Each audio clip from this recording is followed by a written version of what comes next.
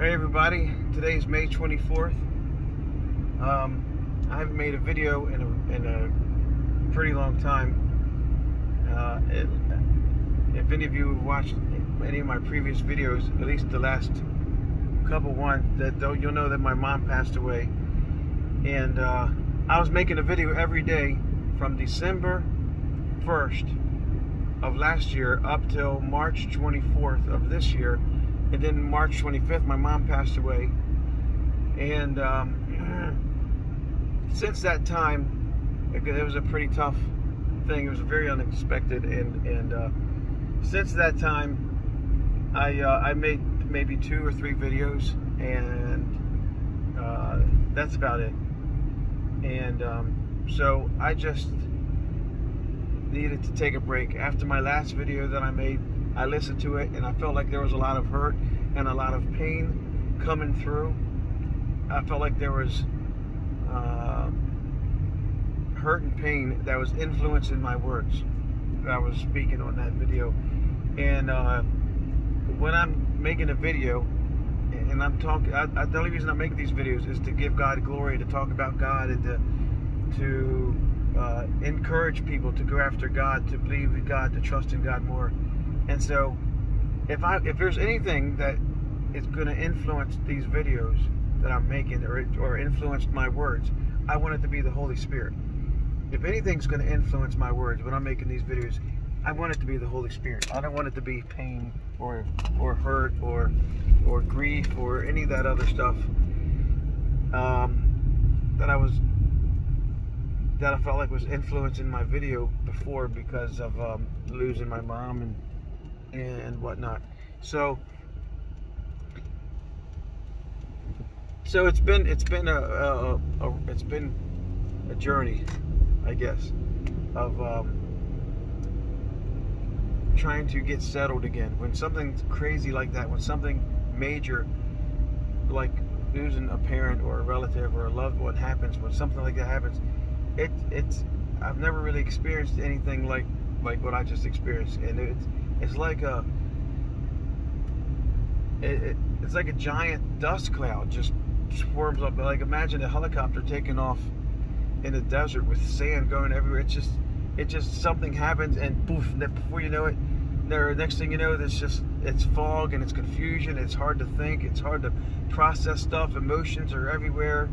You know, you can't. It's hard to control your thoughts because you're just. It's just. It's just crazy it's just crazy when you lose a loved one and it takes time to to process stuff and to uh, get grounded again and to and to let your emotions settle down and to get to the place where you can think clearly and articulate yourself and, and be able to just speak off the cuff. Like when I make these videos I don't plan what I'm going to say. I just feel like there's something on my heart to say and I start talking and that's why I need my heart to be right with God I need my heart to be clean. It needed to be pure. I need it to be. I need the stuff. I need to be able to reflect whatever the Holy Spirit's putting on my heart to talk about. And it doesn't need to be full of pain and, and all that stuff. But I just dropped my daughter off for um, um, a Bible study tonight, and then there's this.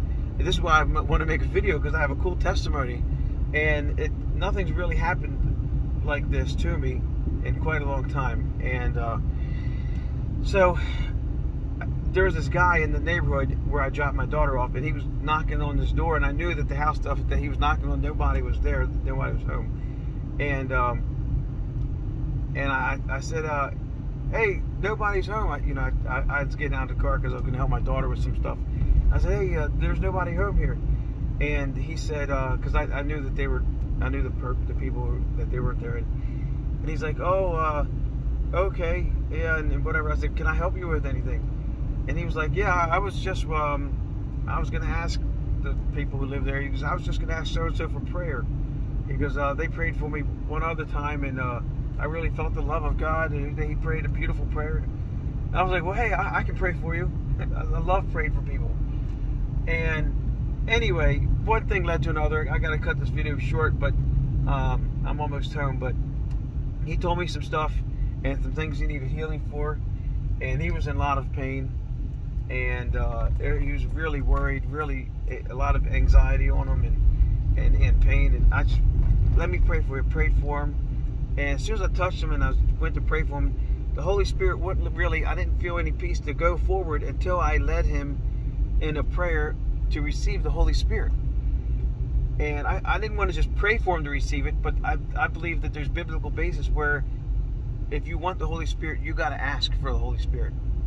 I mean, I, I didn't want to just pray for him. I wanted him to ask for it, but he didn't. I don't know if he knew how to ask for it like like that. So I just said, let me just pray after me. And he said, okay. And I prayed, and I led him into prayer to receive the Holy Spirit, and it was amazing. And then I prayed for him, whatever the Lord put on my heart for healing, all kinds of stuff. And I prayed for his brother, and I prayed for stuff for that and deliverance. All, it was amazing the things that were happening, and um, and he was he was flabbergasted because he couldn't believe that I'm praying for things that things that need that. I was praying for things for breakthroughs and stuff that he actually needed. Yet he didn't share with me that need and things that his brother needs. Yet he didn't share with me about his brother needing this stuff. And I, and I was telling him, man, that's the Holy Spirit. Like the Holy Spirit's talking. God's talking to me, telling me what to pray for you guys, for you and your brother. And uh, and he was like, man, I was like, that's how you know it's going to get answered because if God tells you what to pray, he's he's he has a purpose for it because he's going to answer this prayer. And and then I was like, all right, I said, where are you hurting, man? I, I said, you, and he he's lucky. He's like, he's like, I, I don't hurt. He goes, I, I don't hurt. And I said, well, hold on, hold on. Let me pray for this area right here. I said, I feel like something's happening. He's like, how did you know that? I'm like, and I put my hand on his back, and he didn't tell me nothing about his back. I started praying for his back and and because he's having issues with that. And he's like, I was only talking about life threatening stuff. I was like, well, God wants to heal you in, in every area of your life, everything. I mean, every part of your body, not just life threatening. And um, it was amazing because the Holy Spirit was moving, the power of God was moving, word of knowledge was moving, and you know, I hadn't experienced the Holy Spirit in a long time. I haven't experienced God's presence in a long time, and I realized that in order to experience God's presence, you, sometimes you need to put yourself in the in the place to need God's presence.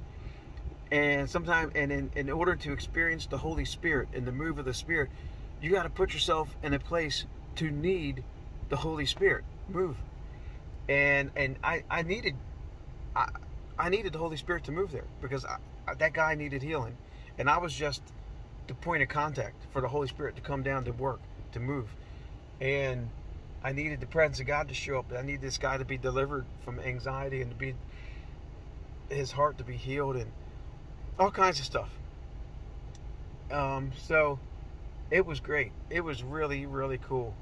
Uh, I was just glad to be there at that moment at, and, and for the Lord to allow me to, to come across this guy's path. And um, that's cool. I've been praying that God would open my eyes to see opportunity.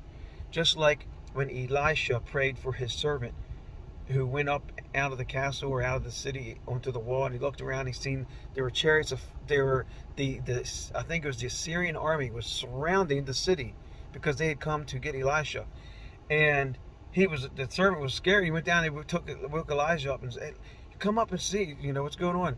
And he said, Elisha said, "Don't worry. Greater that be with us than they that be with them." And then Elisha prayed and he said, "Lord, open his eyes that he may see." And then when the servant went up and looked, and he seen all the hills around about were surrounded with chariots of fire and angels, right? And and um, so I've been praying like if if God can op- if God will open the servant's eyes to see the glory of the Lord all around him and to see his salvation. I said, Lord, open my eyes so that I can see opportunities to to let your light, to let the glory of God be established here on earth, to see the kingdom of heaven destroyed. Open my eyes to see opportunities, even for employment, for to for business opportunities, for ways to grow the kingdom of God, not only spiritually but financially, emotionally, and and you know, just let me open my eyes to to to to see anything and everything around me that I can take advantage of that opportunity to bless people, to to become uh, a conduit of healing, a word of knowledge, a word of wisdom, and and also for for financial opportunity as well to um, to help support my family and the kingdom of heaven. So anyway, that that's that's it. That's what's on my heart. I just uh, I hope everybody's doing well. It's been a long time since I've made a video. I'm I'm feeling good, and um, I like to get back into making videos again, maybe every day, again, and uh, just get into that place where I'm, I'm hearing from God and and making and just talking about whatever the, the Lord puts on my heart, and I'm looking forward to having um, a lot more divine appointments and uh, opportunities to pray for people. Yeah, so we'll see what the Lord has in store. All right, everybody. God bless. See ya.